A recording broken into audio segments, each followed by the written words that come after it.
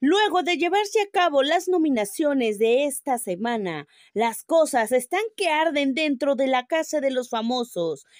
Por grupitos se fueron a platicar de lo que sucedió en estas nominaciones. Para empezar, Lupillo Rivera habla con el cuarto agua donde mencionan que ya no peleen más la comida. Al parecer a Lupillo no le dieron su comida a los de cuarto tierra.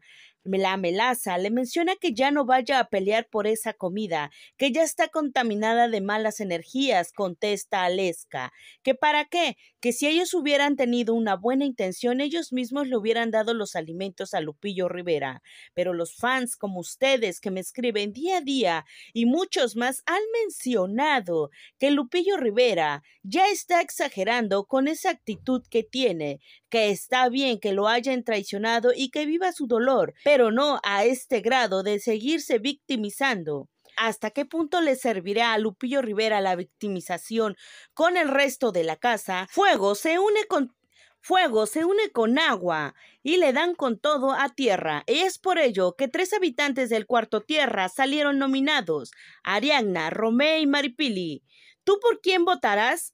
¿Quién crees que se salve de estas nominaciones en donde salieron nominados Patricia, Geraldine, Romé, Ariadne y Maripili?